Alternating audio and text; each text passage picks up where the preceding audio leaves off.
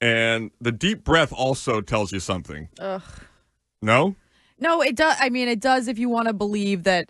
I think it it was maybe a dramatized uh, recreation.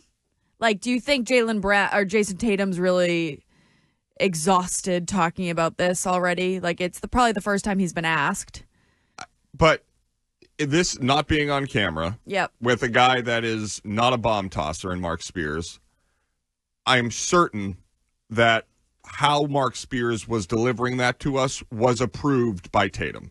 There's no way you get a one on one with Tatum where he trusts to tell you things without a microphone that you then would go and ruin that trust right before the Olympics even begin as Tatum's just coming into his own as one of the faces, if not the face of the NBA. Yeah. So I just, if this were other people, I would, if this were Stephen A. Smith, if this were Tim Legler, if this were anybody, if this were JJ Redick when he was still an analyst, I would think differently.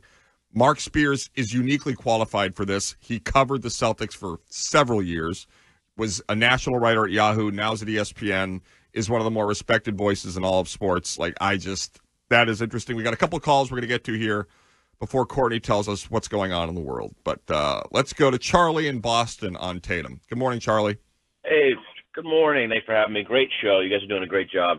Um, so a little context on Hart's uh, comments. So I was I actually called in yesterday and kind of floated that idea about JT as kind of a tinfoil hat idea and wanted them to run with it. But Hart pretty much explained exactly my thought process because I just I don't it doesn't make sense. If you copy and paste Kawhi, you get JB.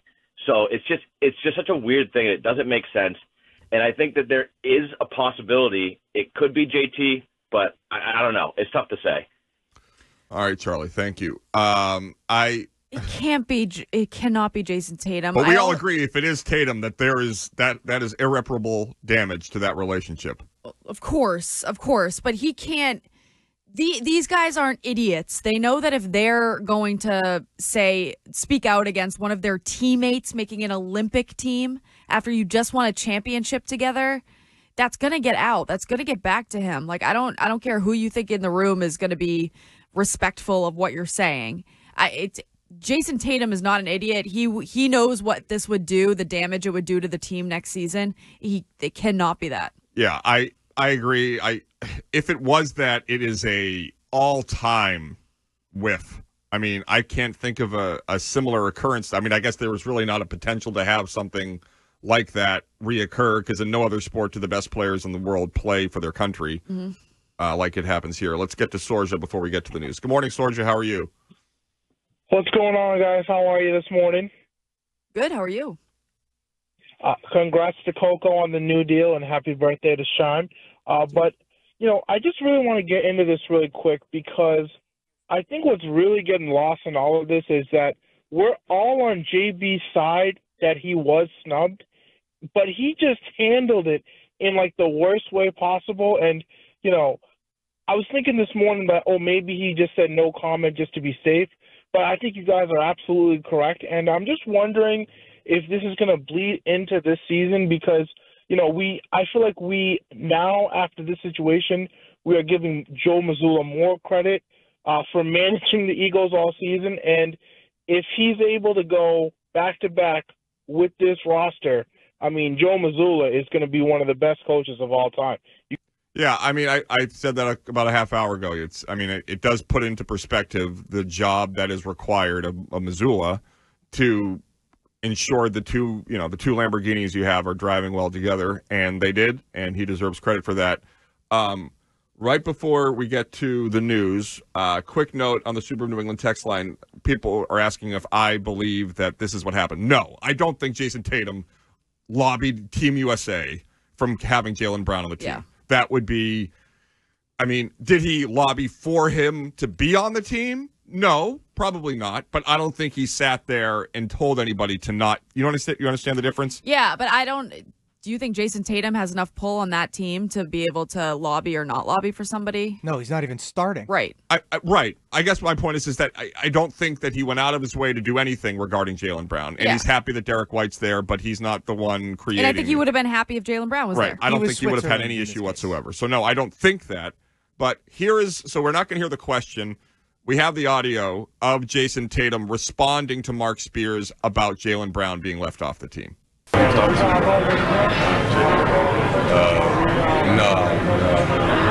Is it tough not having Jaylen here? Uh, yeah, I mean, there's, there's so many guys that could, you know, take that last spot or whatever. Um, so, yeah, it is. Oof. Okay, that's I- not a great answer.